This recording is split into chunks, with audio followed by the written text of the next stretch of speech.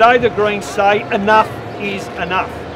We call on Bill Shorten, the opposition, the crossbench, stand with us and say we have had enough of this toxic, this vicious, this harmful debate that is dragging this nation down into the gutter. Happy to take a few questions on What's your thoughts on the uh, anti-refugee protests in Eltham today? Well, we have an option as a country. We can embrace the fact that we are multicultural, that the fact that we are a nation of many different cultures, right from the first culture that predated us all, the traditional owners, from the many migrants and refugees that have come here that have made Australia the nation that it is today, the envy of the world. Multiculturalism is one of this nation's great strengths, and yet we have some bigots, uh, some out and out racists uh, in uh, Melbourne today uh, arguing that multiculturalism is something to be rejected, to be shunned. Well, I say what you're doing in that is you are shunning and rejecting the thing that makes this nation such a successful, such a prosperous country. Um, there is no place for hate. There's no place for racism or bigotry in Australia, and we condemn in the strongest possible terms those hateful voices protesting uh, against the very fabric of multiculturalism in Australia. Let me just say a couple of things also on the proposed uh, changes to the Racial Discrimination Act. Let's be really clear here. What Malcolm Turnbull is proposing in his government is to change the law to make it easier for people to be racist. It's as simple as that. Uh, the Racial Discrimination Act exists to ensure that people from right across, across the world are protected against bigoted and racist hate speech. That's why we have those protections in law. Should Malcolm Turnbull join with those far right members of his cross of, of his party and individual members of the crossbench and support changes to the Racial Discrimination Act, what he's saying is we want it easier for Australians to be racist, to inflict hurt and harm on innocent people. Well, we reject that. We know that those protections exist to ensure that the Australian nation remains safe and secure, that those people who are currently fearful, and I hear from them. The Labor Party must, and we have a strong message for the Labor Party today, they must clearly oppose this bill. It is time that they oppose this bill.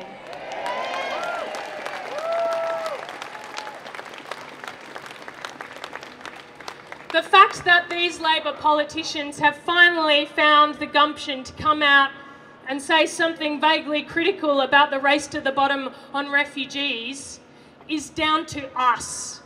We have turned the tide on refugee public opinion. When, Turnbull, sorry, when Kevin Rudd announced the PNG solution, he was reaching for public opinion and it was a political ploy in the context of an election where he made a calculation that this would get him more support. Now the Labor Party can sniff the wind. We have generated that wind. This refugee movement has generated that turn in public opinion. We need to keep the pressure up on Labor. We need to stand strongly and insist over and over and over again. The bill must be opposed, and that must be the first step in Labor breaking from its deterrence addiction.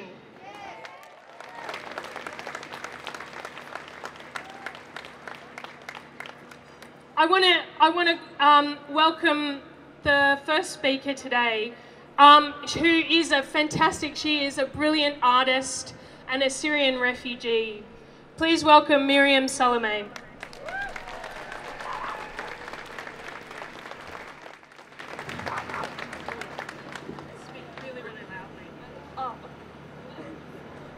I want to thank you everyone for being here today and for giving me this opportunity to share my story and my feeling with you. My name is Miriam Salame. I'm Syrian refugee artist who came to Australia three years ago. I'm from Christian family. I never needed to say that here or in my country because Muslim and Christian, we always live together in, in harmony and peace. But I say this today because I need to explain that my family and I escaped from Syrian regime violence before even ISIS existed in my country. The Assad regime claims that it protects minority like us from extremist groups, but that's not true. The regime protects itself by using minorities as a playing card to tell Western societies that it's the only source of protection for us. In early 2011, a peaceful revolution for freedom and democracy has started in my country. Syrian people took to the street, calling for rid the dictatorship regime. But from the very beginning, the Syrian regime responded by arresting and killing anyone who opposed it. During the revolution, I was an activist. I, record, I recorded video to document Assad abuses, and my friend and I established a magazine. But we had to stop publishing it after only six months because the Assad regime attacked twice the place that we were meeting in and committed a horrific massacres there. One instance including killing 20 young men, arresting 150 people. Among them were women who were stripped naked in public. Later, I start to receive many arrests, rape, and death threats by the, uh, by the Syrian security. So I was forced to leave my home, my memories, and all my life to go to Lebanon. I had no choice but to flee. At this time, my art teacher and the closest person to my heart, Wael Kassoun, was arrested by the Syrian intelligence and tortured to death. His, his only crime was refusing to draw a painting that supports Syrian regime. His body was found by accident in a military hospital amongst 200 bodies. The Syrian security was preparing to bury them in mass grave without letting their family know where they are or what happened to them. I can't understand how the Australian government provided the refugee who came by a humanitarian visa with all the rights here, but forbid these same rights for refugees who come by boats and put them for years in detention center.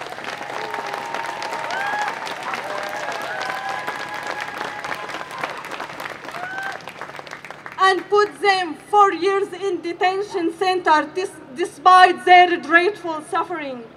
As refugee, as refugee, we have all fled from the same horrific situations in our country and in bordering countries. I feel very sad when I hear that the Christians are priority to be accepted as refugee here. As refugee, I call the Australian government to bring in people according to their horrific situation, to risk that threatens their life and their children's life. But my heart always with our people who face every day the death by all kinds of weapons. Assad regime and its allies committed and still committing massacres against the Syrian people. The bombing schools, bakery, hospital, market, civilian neighborhood by using banned international weapons, phosphor, explosive barrels, chemical, which killed more than 2,200 civilians in Al-Ghouta. Most of them were children while they were sleeping.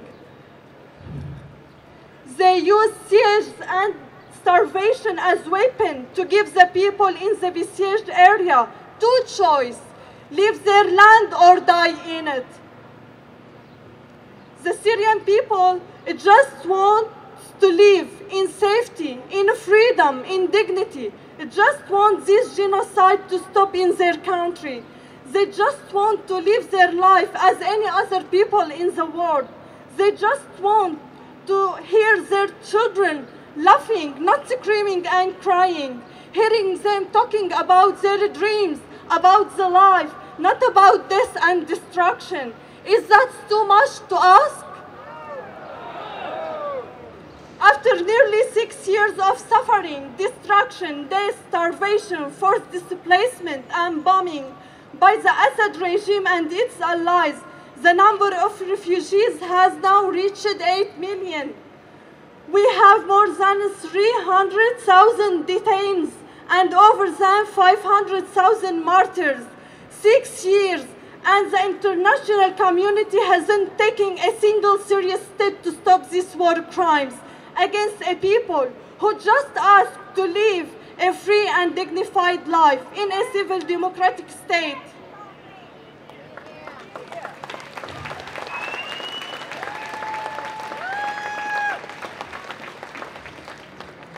Six years and the world is watching us in complete silence. But we will continue in our revolution and we believe that the Assad regime and its right arms ISIS are scared of our revolution because they know when we will win there will not be any existence to them. If we really want to stop the refugee crisis, we, we have to go to its roots. Turning the boat is cruel and is not the solution. Putting asylum seeker indefinitely in the detention center in very bad condition, killing years of their life for no reason is not the solution taking only people who have sponsored in Australia and ignoring those who have been stuck in refugees camp for years is not the solution. Deporting asylum seeker is not the solution. Closing borders and preventing refugees from entering Europe is not the solution. All these strategies are not the solution. On the contrary, these strategies can be considered as complicit in the crimes being committed against these people.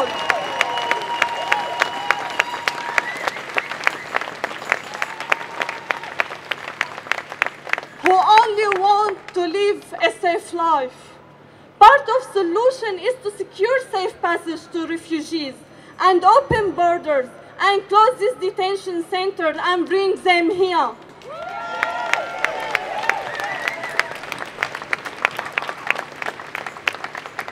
But this alone is not enough.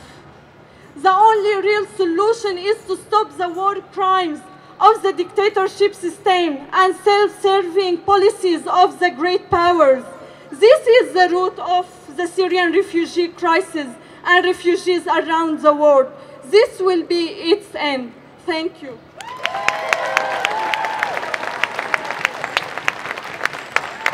Say it loud, say it clear. Refugees are welcome here. Say it loud, say it clear. Ref Our next speaker um, is one of the is a representative from the Greens. He's the leader of the Australian Greens.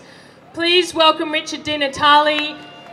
The Greens have been the strong principled force in Parliament who have opposed every step further down the, the spiral of refugee racism and they deserve a very solid, strong, supportive round of applause.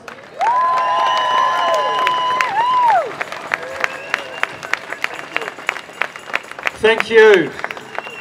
Firstly, let me acknowledge that we're meeting here on the land of the Wurundjeri people. Let me pay my respects to their elders past and present. Let's acknowledge that sovereignty of this land was never ceded. Let, let me also acknowledge the Refugee Action Collective for their leadership, for their organising, for taking up the fight to this government. Good on you. And to all of you, the Grandmothers Against Detention, to the union movement, to those religious organisations, to doctors' groups, to teachers, to nurses, and to ordinary members of the community who are coming together to say to this government, we are better than this.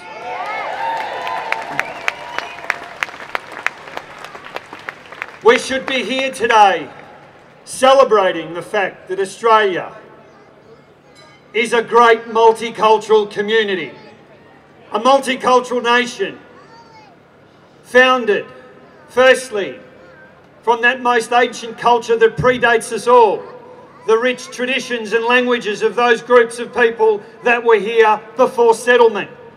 And through those waves of migrants and refugees who have contributed to making the Australian nation the great country that we are today. But instead, we're here today to take a stand against the vicious, cruel, harmful policies implemented by this government.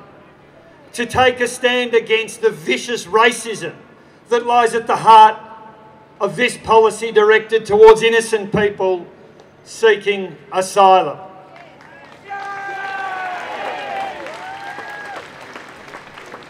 And it is true that there is racism within our community, but there's racism in the Australian Parliament. It's a vicious racism reflected in the words of Minister Dutton, who refers to refugees as illiterate, as enumerate, as dole bludgers, as people taking Australian jobs. That's nothing other than inflammatory, racist language, not just directed against innocent people seeking asylum, but directed against migrants who have come here and made Australia a better place.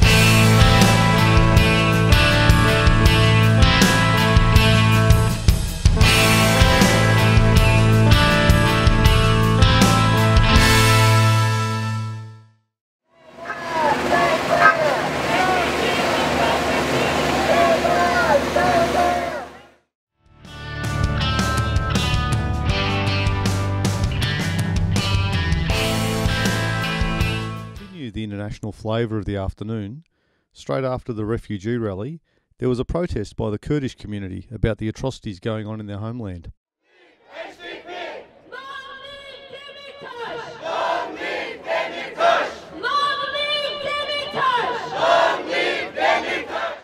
We have John Tully from the Australians for Kurdistan to talk about the recent developments.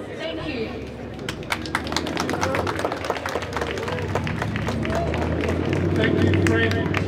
And it's a real honour to be here today and to see so many people who've turned out to celebrate the liberation of Kobani.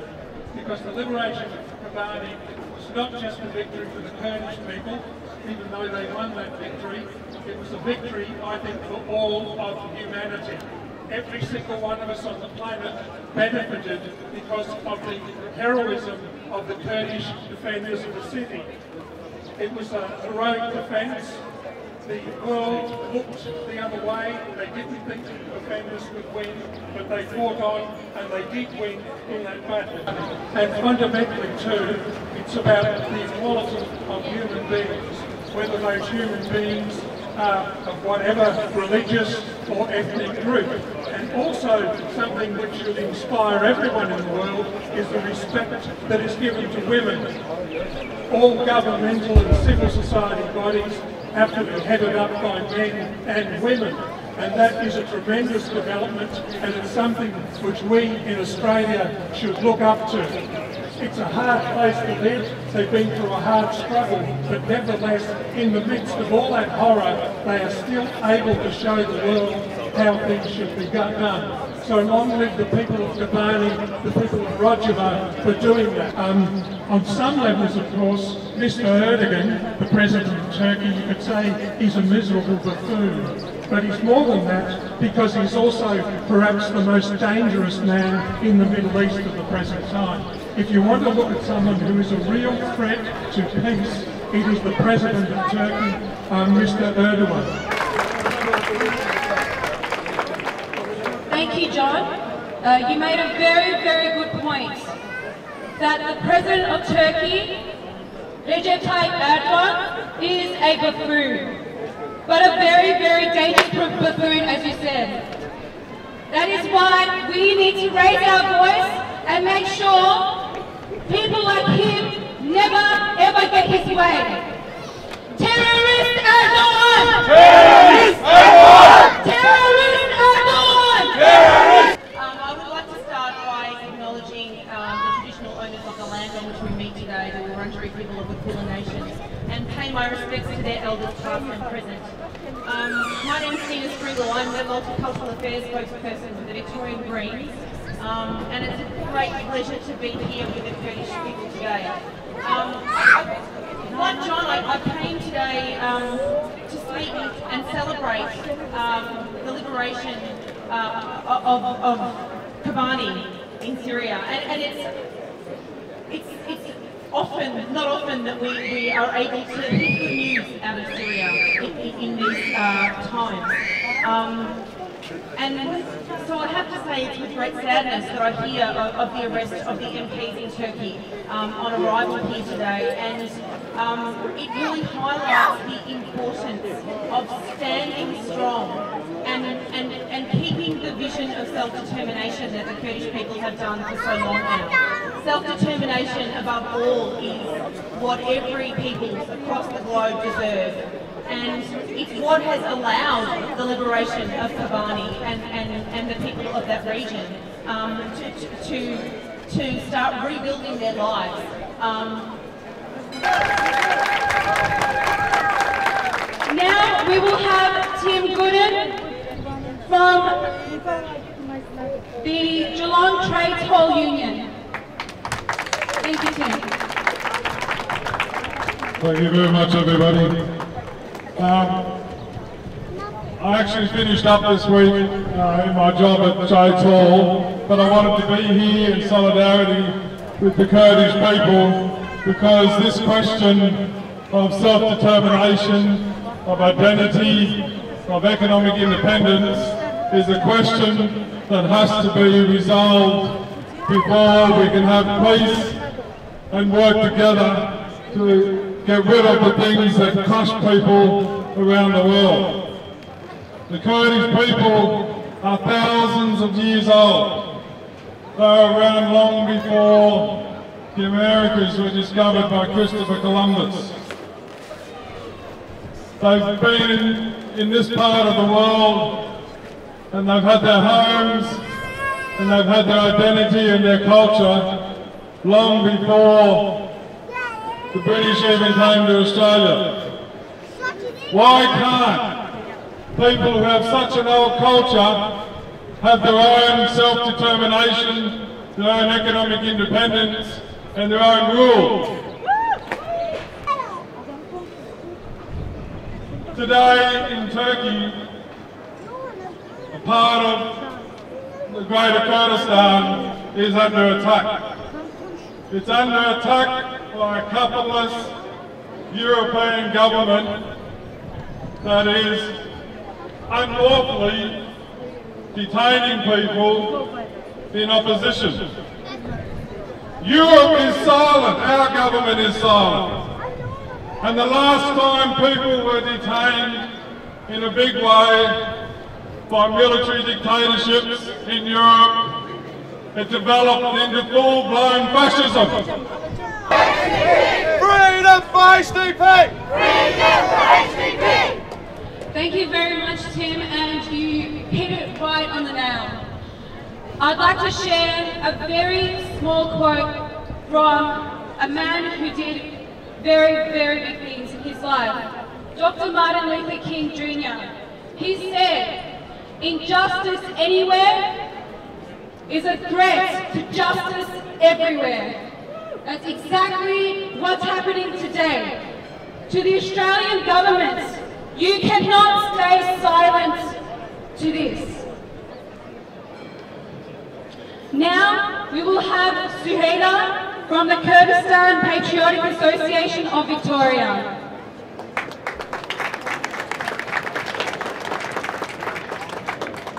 Thank you everyone. Welcome. Today was supposed to be the day to celebrate the freedom of Kobani. Today was supposed to be the day that we show every single person in the world that we will fight for our country, we will fight for our people, we will fight for our identity, we will fight for ourselves for as long as we are alive. Kobani is just one of the examples of the struggle that the Kurdish people have been through. For sure it's not going to be the last one.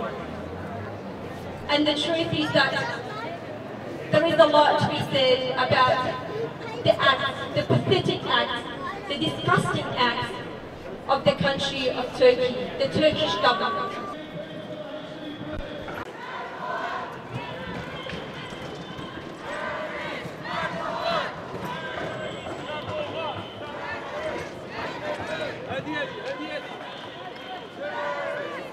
The battery's in my remote are going flat. There we go. No, we're going good.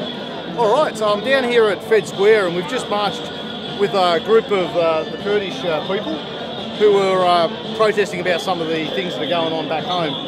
And I must admit, I don't uh, know much about what's going on, so I've enlisted a couple of people here that we hope are experts. We've got Seval and Deniz. Nice, nice to nice to meet you. Yeah, thanks, for, thanks for having a chat. So maybe you could just quickly bring everyone up to speed on just what's going on over there because it doesn't Yep. sound good. So at the moment, there's very broad anti-terror laws in Turkey. Um, we've seen for years and years journalists being arrested, um, other people that are activists have been arrested. But now new laws have been introduced where members of the pro-Kurdish party, the HDP, have lost their parliamentary immunity. Um, and over the last 48 hours, all 59 of our MPs have had arrest warrants issued against them. Um, So are they a legitimate political force or are they some extremist organisation? no, they've been voted by five million people. Right. Um, so the HDP is a very legitimate, uh, a legitimate political party. So five million people's voices have just been uh, wiped out by the AKP party. Um, this is a huge injustice against freedom. So we are here to protest that. Um, our political 59 MPs have a right to speak, to have their voices heard, and to represent the five million people who have voted for them. Look, I think one of the fundamentals of a free society is is the old saying, you know, I might not agree with what you're saying, but I defend your right to say it. You know, and I think, you know, just a variety of opinion is important in any, well, you would hope, advanced community.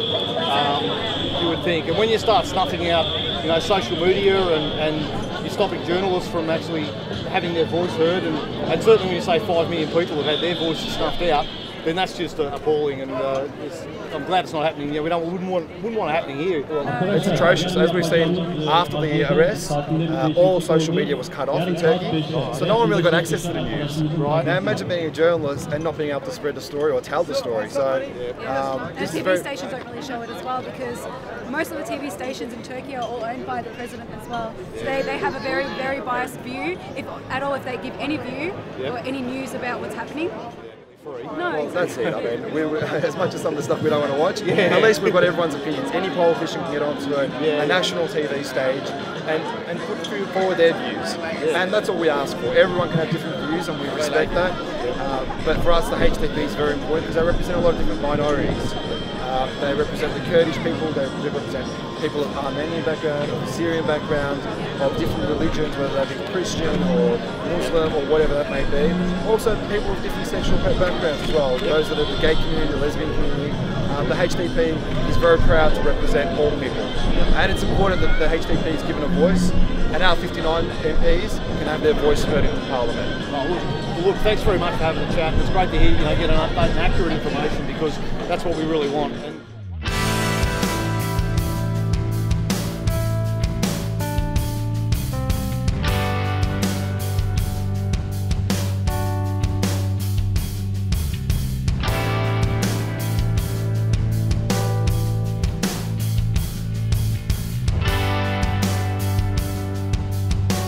discussion about international issues, it can be easy to forget that sometimes it comes down to one country, one city, or in this case, one street.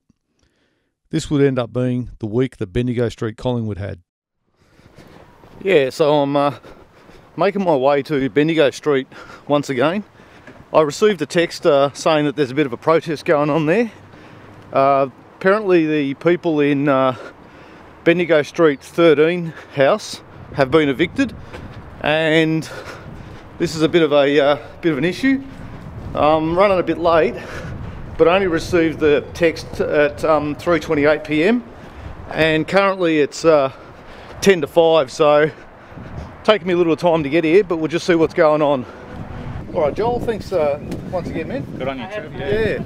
So once again, we're down here at uh, Bendigo Street, and today there's been a bit bit of activity. There's uh, quite a bit of police presence in the in the street, and they're currently uh, congregated over the front of uh, number 13. Uh, Joel, you want to give us a bit of a? Bit late getting here. You want just a bit of a rundown on what's happened here today, please, mate? Yeah, it's odd because there's also um, about four Wilson security guards inside number 13, so I don't know what I need police here. But um, we had a gathering there today to sort of um, speak our truth about our frustrations, our our concerns. Yeah. Yep. Um, this protest has been going for six months, so nearly seven months. Yep. Um, and this isn't a, a protest by the left. This is a protest by the left out. You know, people who have no housing.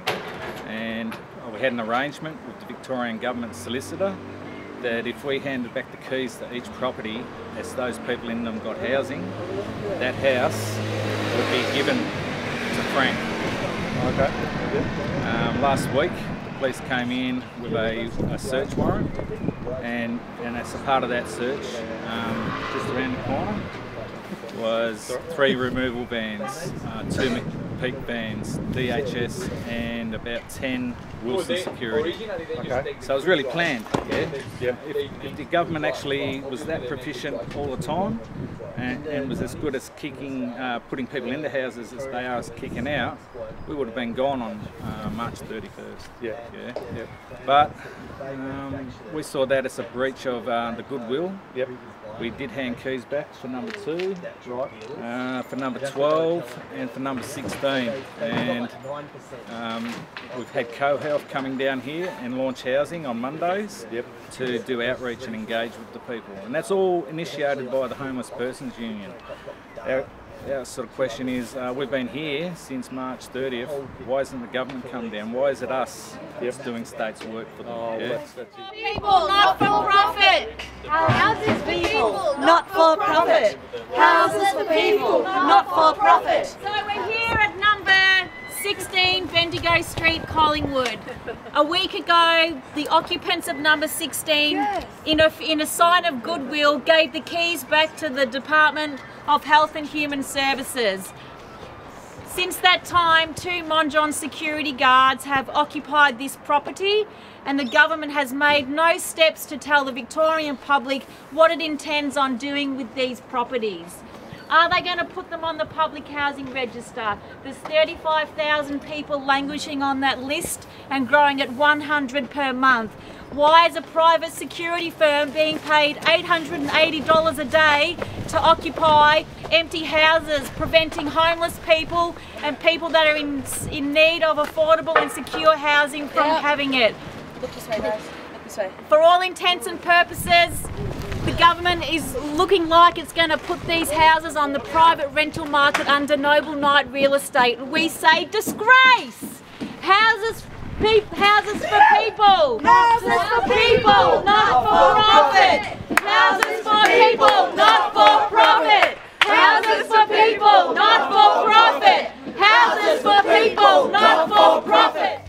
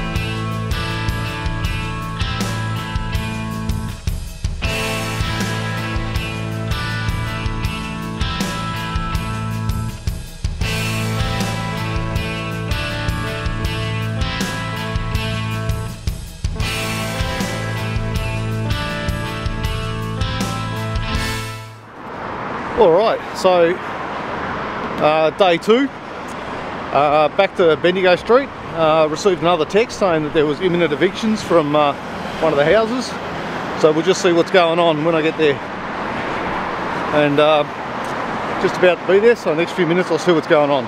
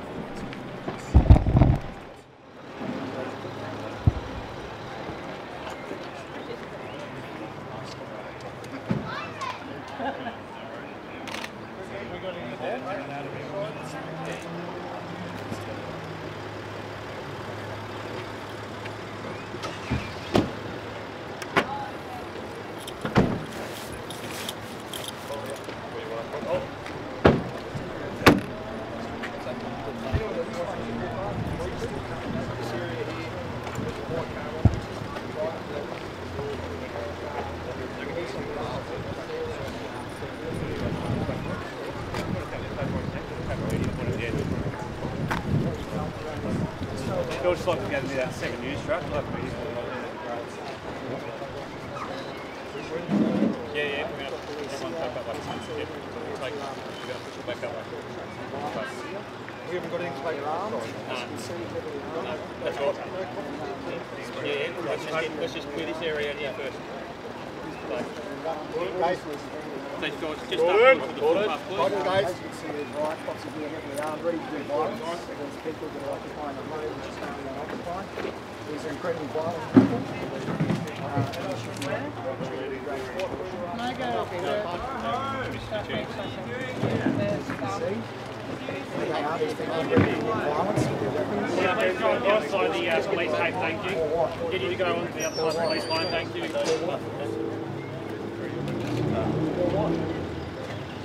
Wrong with you people?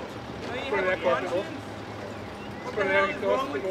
Put it out, put it out. Seriously, go home. Do something useful. Well, here it is. The Victorian state, fully armed, ready to move in on people who have nowhere to live in a home that's unoccupied. Every single pe- member of the Victorian police here today should be ashamed of themselves. Moving in heavily armed on people that have nowhere to live. This house is unoccupied. Why don't you go and get a real job, mate? You, all of you. Yeah, you looked at me. You should all be ashamed of yourselves. There is currently 80,000 unoccupied homes in Victoria. These homes are unoccupied. People with nowhere to live. And you come here with guns, you come here with capsicum spray, you come here ready to commit violence on people for wanting nothing more than to live in a home for safety. Children have got a right to safety. There's children in there. That's a very good point. There are children in there and you've got guns. You protect Shame. those children. And let's not Their forget. rights are as important as anybody's. And let's not forget whose land you're standing on. Aboriginal land. Always was, always will be Aboriginal land. Always was, always will be Aboriginal land. Always was, always will be Aboriginal land. Always was, always will be Aboriginal land. Absolutely disgraceful. Victoria Police, shame. Go in there and lock the door. Shame. I can't be everywhere at once. There's children in there and you're armed. Look at you. This is what it's come to for you in your life, is it? Great career choice. I'm just going to do the thing. Um, yeah, so we've had a fairly large number of police turn up, and uh, it's a bit of a they've pushed the media back, uh, which is fair enough. And got a bit of uh, conversation going on, and we'll just see what happens over the next uh, few minutes or whatever. But uh, hopefully it just remains peaceful. That's what we really want, and hopefully it can be done in a professional manner, whatever's going on.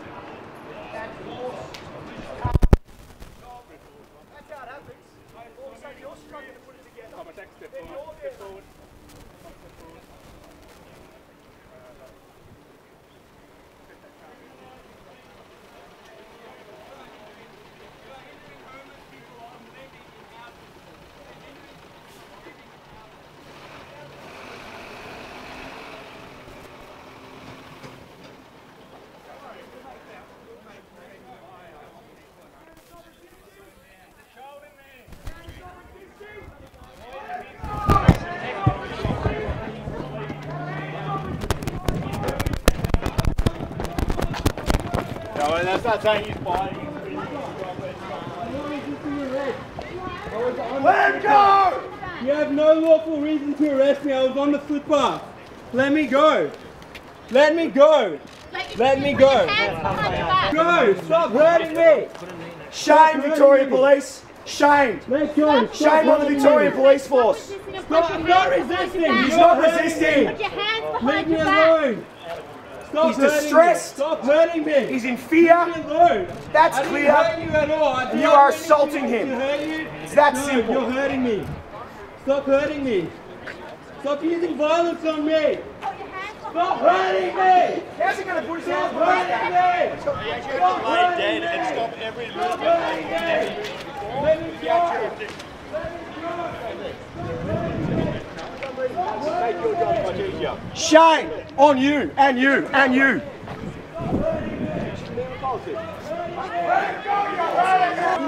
Go away. Go, leave me alone. Leave me alone. Leave me alone. Go away, you violent pig. Go away, you violent bastard. You can bear witness further. So you can bear What's wrong with you? Why did you choose this for a job? Is this what you want to do with your life? Is this what you want to do with your life, huh? Is this what you want to do with your life? Is this what you want to do with your life? Is this what you want to do with your life? Is this what you want to do with your life? Big bastards. Go home. Go home. Go home. Leave me alone. Go home. You still have a choice to go home if you want. Let me go. Let me go. Step back. Let me go. Step back. Because this thing a bunch of thugs trying abduct me. That's what I'm doing. Stop breaking my thumb. Well, the protesters say they're vowing to continue to fight back. The government says it votes it can use these properties to eventually house victims of family abuse. Oh, they're putting them on the private rental. They're evicting children. There's children in this.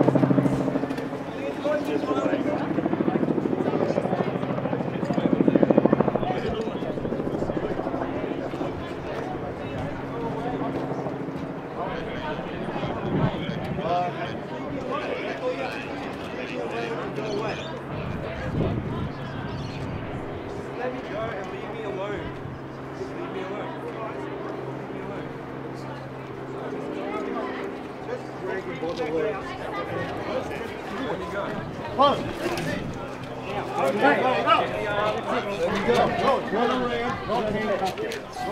trying to tell me what to do. Stop, ah, stop pushing my face in the gravel. Stop pushing my face in the gravel. What are you doing? Stop hurting me. What are you doing? Oh, yes! Replacing. Replacing, mate.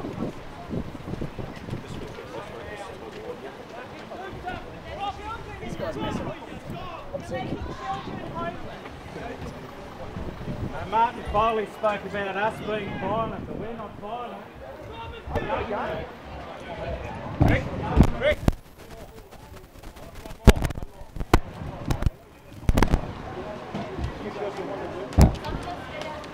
Hey, hey.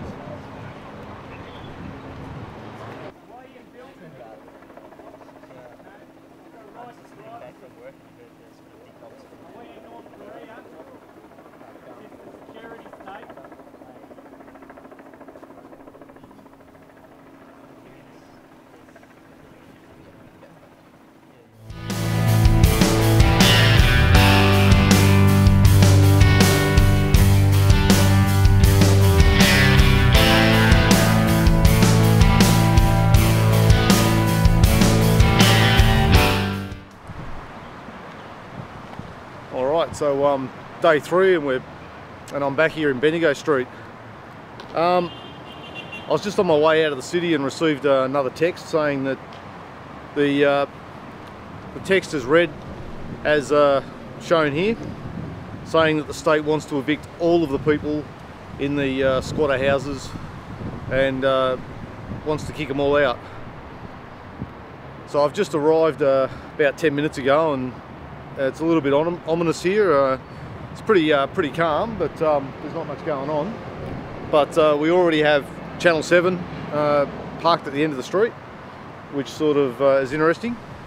And um, yeah, like I say, it's just a bit of a uh, ominous calm sort of uh, going over the place at the moment. There's a few people uh, in and around some of the houses, and the text also said that they were planning to resist any attempts, well, uh, to uh, to evict them. So again, like I said, back down here in Bendigo Street, and uh, it's now uh, 20 past four, and we'll just see uh, what goes on.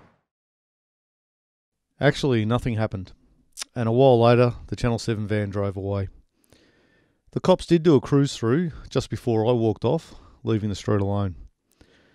The next morning, I found myself in the city out front of the Supreme Court. In another street, not too far away from Bendigo Street, more people had been told to move out of some houses and prepared to make their stand against the government.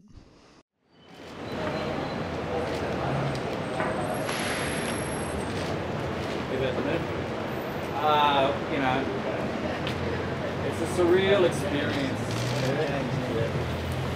Um, possession of good looks and a sense of How, how'd you go, man? Uh, pretty bad. I'd Pretty say. bad. Just um, just uh, see if you don't mind. We'll just we'll just back up a little bit. Yeah. So what was the what was the court? What was the outcome? Well, uh, the judge uh, has decided that a piece of paper stating that the government owns something is more important than the contract that the government has towards the people. Yeah. And so judge decided to kick us people out of their homes without any reason, without any um, actual project for the property they're gonna. Yeah. Joel, uh, we'll uh, I'll come in and have a chat. How are yeah, you? yeah, man? good. So what uh, transpired inside was uh, this imbalance of power where you've got a human right to due process. And it doesn't say whether uh, you get that human right to due process if you're a barrister or a lawyer or you can afford to pay for a barrister or a lawyer. Um, you know, by rights, you should be able to step up there, speak your truth, and represent yourself. Yep. And what happened to um, Simone, his, um, you know, he, he was refused his right to due process, and um, the case, the, the ruling came out against him. Now, what's happened? That factory is going to go and sit vacant again. Yeah. So they've gone and got a order of, um, you know, writ of order to possess the property, so they can make it sit vacant again, when it had the potential to be used as a space where um, people experiencing homelessness could enrich each other, share their experiences with each other, and develop positive relationships with the broader community. So, what crime? You know, isn't wouldn't it be better if you know the government said, "We're not using it. We weren't using it." Yeah. Yeah, yeah. Um, you've got a capacity to actually develop community and, and instead of being marginalised and vilified and criminalised and feeling, you know, a lack of self-worth, um, state would rather come along and sink the boot in. Exactly. So I'll they dragged get- Simone out. I'll get I'll get his get him to write his name down. And Can I, I went just, out um, and I was documenting what Just was so I can on. just so I can credit you appropriately. get your name right. Just yeah, just I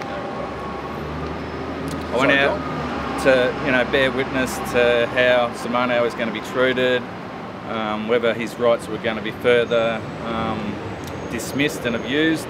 And um, as I'm writing my notes down, the PSO came up to me and he said, "Move, move over there."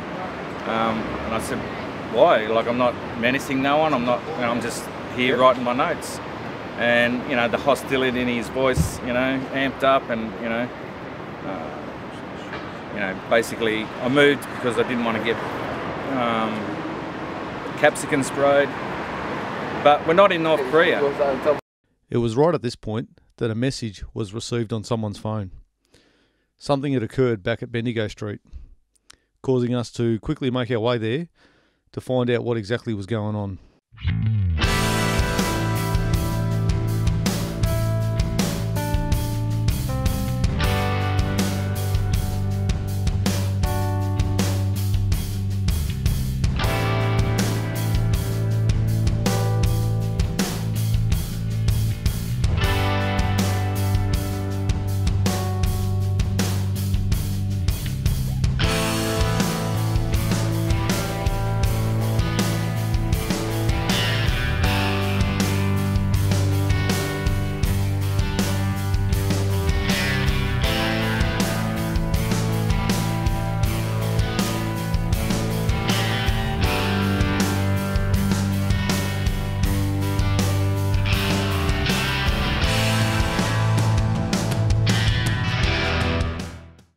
The house that had been taken back a couple of days earlier, the family were being relocated.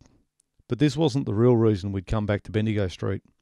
There was actually a more tragic reason, which became clear at the police briefing a short time later. Um, good afternoon.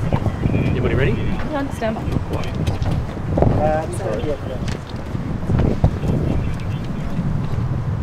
Good afternoon, everybody. Police were called at around 10.30 this morning when the body of a man was found at a house here in Bendigo Street in Collingwood. The ambulance and Victoria Police attended, at which time the man was pronounced deceased. Victoria Police are investigating and preparing a report for the coroner. At this time, it is believed that it's a male in his 50s was the only person who was present when police attended. As this matter is the subject of a coronial inquiry, we'll uh, not make making any further comment at this stage. Will the homicide squad be investigated? Uh, at this stage, there are no suspicious circumstances in relation to the death. How did the police become aware that there was a fellow here deceased? Uh, police were called by Triple O by a neighbour. And how did they become aware that there was a deceased man there? A neighbour attended at the address to check on the premises. Um, walked in, sorry, could I just clarify, that person walked into the premises? That person walked into the premises. Are children living in that home? There is no evidence of any children living in the home. It's, can I just clarify, for what purpose did that uh, neighbour walk into the premises? That person will make a, a statement uh, to police, which will be used to prepare the briefing uh, for, the, for the coroner. So the coroner will uh, inquire and uh, release a statement if that's necessary. How would you describe what's happened here? People I mean, to state the obvious, been distressed, but how would you describe it? Well, the, the death of any person is quite tragic. Uh, um, it's non-suspicious, so at this stage, um, obviously it causes a little bit of unrest in the community. Unfortunately, um, non-suspicious deaths are not uncommon. Have you contacted or been able to get in touch with his next of kin at all? Police are in the process of notifying whom we believe to be the next of kin. Was there drug paraphernalia found in the house? The matter's the subject of a coronial investigation, so at this stage there's no comment in relation to that. How come that house wasn't evacuated earlier this week? Uh, the property is owned by a government department. Uh, there's a legal process underway in relation to that. You'll need to talk to that government department in relation to the status of uh, occupation, the occupancy of the property. Do you know if security moved in on that house last night? That's a matter for uh, the owners of the property. Just to clarify, was it the next door neighbour or a neighbour that came and found him? A neighbour. Do you have any other plans in the street uh, that you can talk to us about? So Victoria Police um, patrol Collingwood like they patrol all areas in Victoria to provide um, proactive reassurance to the community to prevent crimes. We also respond to any calls for assistance um, and investigate any matters that are reported to us. Had this person been involved in any of the, the forcible removals earlier this week? Um, I've got uh, no comment to say in relation to that. Thank you.